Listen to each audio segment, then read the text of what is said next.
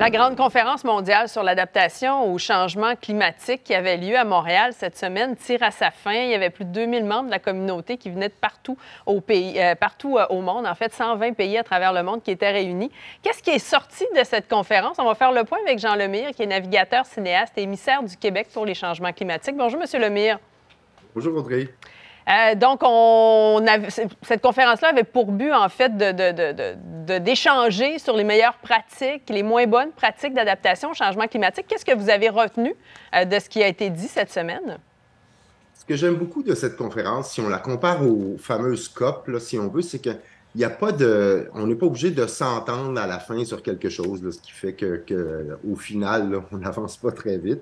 Là, on est vraiment dans la solution. Et je mm-hmm. pense que euh, face au changement climatique, il faut vraiment se mettre en mode adaptation. Ça ne veut pas dire évidemment qu'il faut réduire nos efforts pour diminuer nos gaz à effet de serre, mais certainement, on l'a vu au Québec, prendre des mesures pour s'adapter.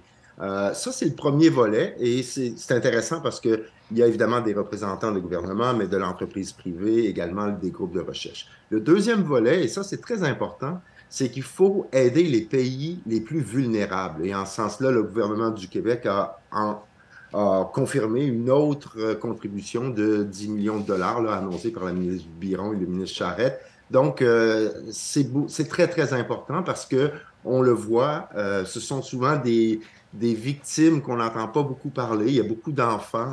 On pense qu'il y a eu à peu près depuis 2016 43 millions d'enfants qui ont été déplacés à travers le monde à cause des, des changements climatiques. Donc, deux volets importants, trouver des solutions, échanger les bonnes pratiques et évidemment euh, contribuer pour que les pays les plus vulnérables aient, de l'aide, parce que sinon, évidemment, on s'en sortira. Oui, plusieurs de ces pays-là qui sont pleinement touchés par les changements climatiques, d'ailleurs, étaient présents à cette conférence-là. Il y avait des membres à des villes, des entreprises privées, vous en avez parlé, parce que ça a des conséquences, les euh, changements climatiques. Euh, on l'a vu avec les feux de forêt, les inondations, déplacements de population, mais aussi des conséquences sur les chaînes d'approvisionnement, donc ultimement dans les poches de la population.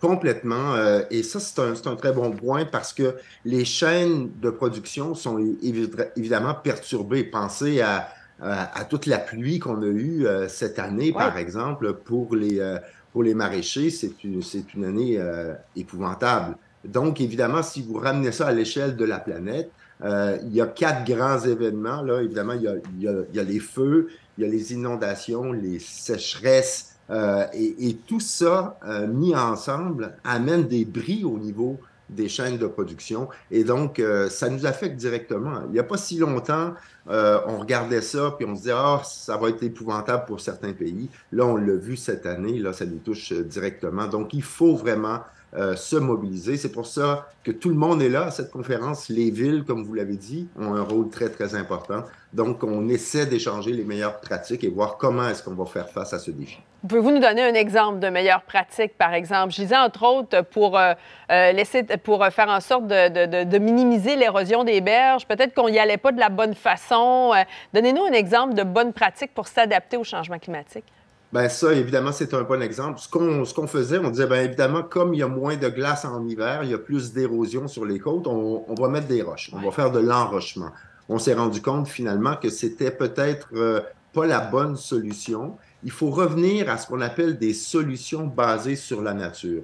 Alors, on n'a rien à inventer, tout était là. Donc, si on fait des zones tampons maintenant avec des milieux humides, etc., euh, il, y aura un phénomène où cette eau supplémentaire qui arrive va être captée et donc euh, va rentrer dans le sol et c'est beaucoup plus efficace qu'essayer de combattre cette nature tout le temps. Donc, je pense que de plus en plus, on va se tourner vers ces solutions basées sur la nature et donc, euh, ça va nous, permettre euh, de faire certains gains, si on veut, là, sur, euh, sur nos efforts d'adaptation au changement climatique. Et on n'a pas le choix de le faire. Le maire des Îles-de-la-Madeleine qui disait que renoncer à s'adapter au changement climatique serait une erreur monumentale pour, pour les îles de la Madeleine, mais pour partout dans le monde aussi. Et c'est une responsabilité collective, Jean Lemire.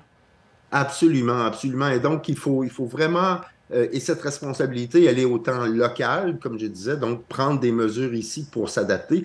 Penser aux feux de forêt. Il va falloir repenser comment on plante ces arbres, mm. parce que souvent, on le fait en fonction d'un concept où rien ne change. Et on se dit, bon, dans 50 ans, on aura le même volume de forêts d'arbres dans, dans, tel secteur.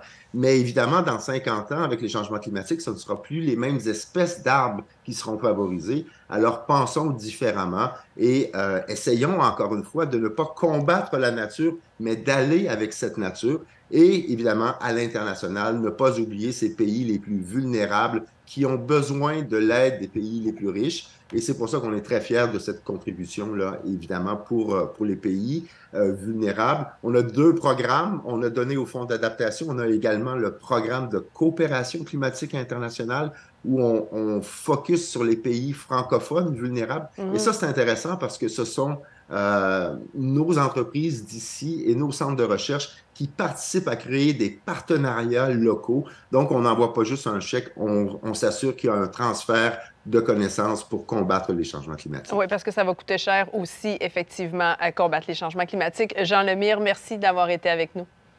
Merci à vous. Bonne, journée.